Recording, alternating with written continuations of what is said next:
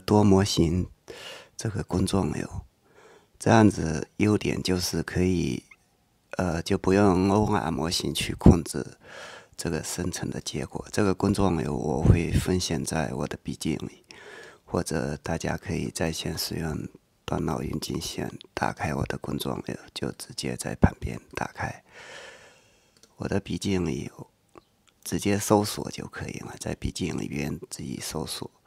多模型生图，这里边有模型的下载及安装的教程，还有工作有下载。它其实就是利用两个模型，这个很很重要，就是它是同一个系列的模型，一个是真实的，一个是卡通的。通过这个来控制它模型使用的权重。比如调到一的话，就是使用模型一；这边调到一的话，也是使用模型一的提示词。有两种，一种是模型控制，一种是提示词控制。这边调到一的话，那就是它会更偏向于真实的模型。我们生成看一下这个效果。提示词就很简单，就是一个女孩在酒吧。通过这两个。去控制，这样子生成出来的人物就是比较真人一点。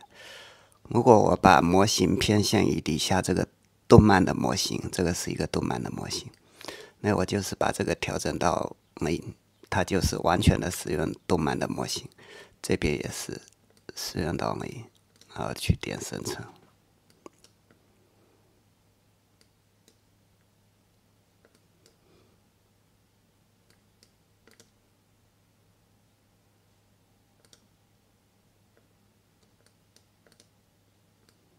这样子生成出来，它就会偏向动漫。这还没显示出来。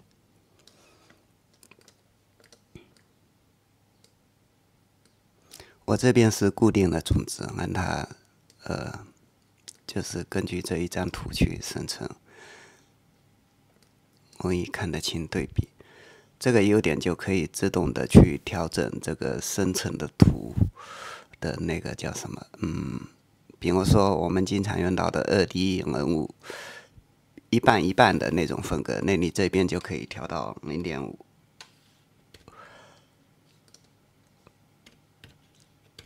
就可以更好的去控制风格。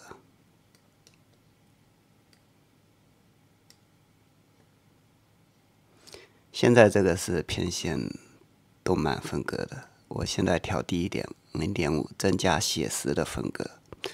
就是在这两个模型之间权重高低切换，然后这个是提示词的权重高低切换。比如这个分格提示词就是用零零，就是用底下这个分格提示，但是其实分格提示是一样的，提示词的权重呃影响比较小吧。所以你想要让它偏向真实的，只要提高就好了。比如底下你可以理解为微调吧。如果是提示词的话，我现在想让它变得更加真实一点，我把底下提示词调整到一，就是这个模型，它就会在这基础上更加真实一点点。当然，你也可以直接提高上面的权重，那就提升了更嗯。效果更明显。如果你是一的话，那就是完全是用模型一去生图。所以这个混合模型去生图的方式就挺好的，呃，就可以不用下载 o 啊或者什么。我可能有其他不同模型，我可以让它混合去生图，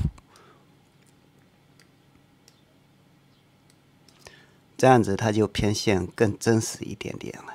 但是又有动漫的那种感觉。如果我想再真实一点，那就是把这个完全调到一，底下也是一，这样子就会更真实。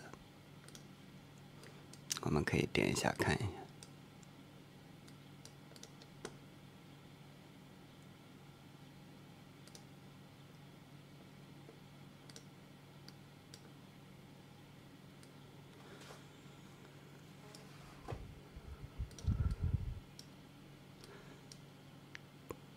这样子就可以通过模型之间的混合去控制生成的风格，相比用 OR 多了一种方式去控制风格。